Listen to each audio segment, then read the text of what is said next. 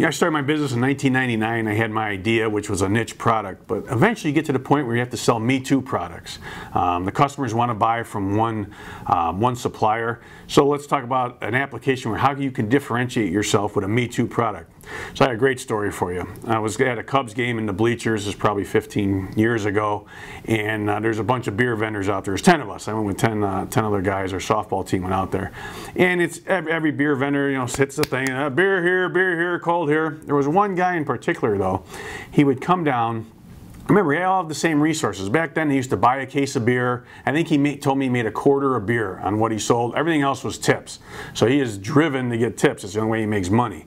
Um, so he would actually go down, buy a case of beer, and then sell it. That's, that's, that was his business. So everybody had the exact same resources, exact same beer, coming from the exact same place with the exact same audience. So how did he differentiate himself?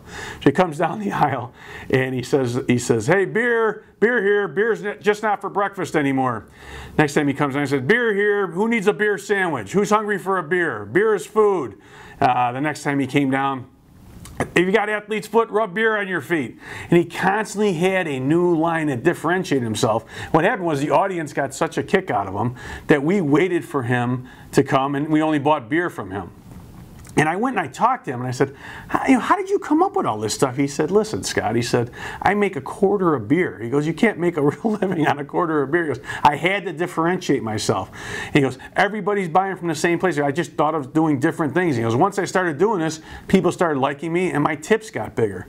So it goes to show you that even if you have the exact same resources or you're selling the exact same product, eventually you're going to have to do that to complete your line. There are ways to differentiate yourself. And I thought this guy was brilliant. I actually went and sourced him out between innings and found him and asked him how he got this done. He said he makes three to five times the money as any other beer vendor at Wrigley Field just because he comes up with these crazy, crazy sayings.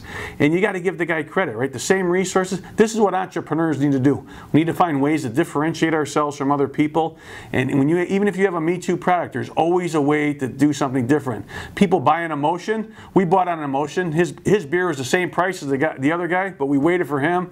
We generally bought a whole case off of him, so he liked us, so he came back. And we gave him a huge tip. It's just the way we did business. So when you guys are out there and you don't think you have an edge, find an edge. Because if you don't find an edge, people will just go to the cheapest product. Thank you.